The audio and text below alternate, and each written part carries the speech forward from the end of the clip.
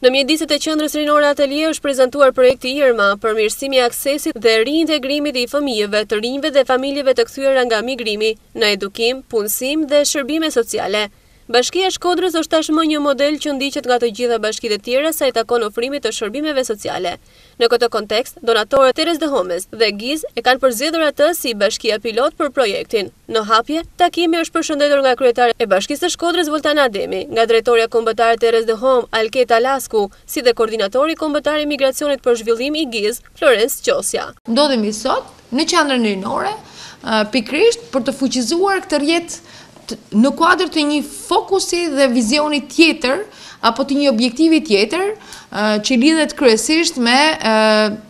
përmirësimin e aksesit dhe reintegrimin e fëmijëve, të rinjve, familjeve të kthyera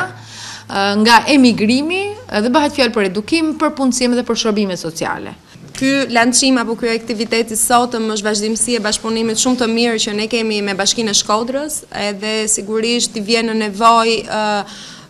familjeve të cilat janë të rikthyer apo në rrezik migracionit, me një fokus në këtë fazë tjetër le të themi tek të rinjtë më shumë, ky projekt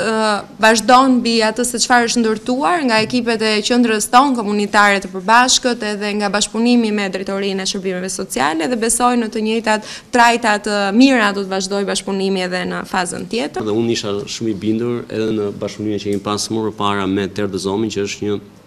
organizatë shumë profesioniste në fushën e integrimit social dhe sidomos në thelbin e punës së saj që ka menaxhimin e rasteve sidomos të grupeve vulnerabël. Por asnjë shoqatë nuk mund të jetë e suksesshme në operimin e saj nëse nuk gjen një terren edhe një ambient ku të ketë një bashkëpunim të mirë me autoritetet lokale dhe kjo na bëri ne që të kishim një lloj motivimi edhe një lloj angazhimi dhe mbështetje nga ana jonë që Faza e dytë, qoftë siç e quan Filipi, por aplikimi që pati Terre des Hommes-i në kuadrin e një financimi që ne kemi për organizatat e shoqërisë civile, të ishte e suksesshme dhe të mund të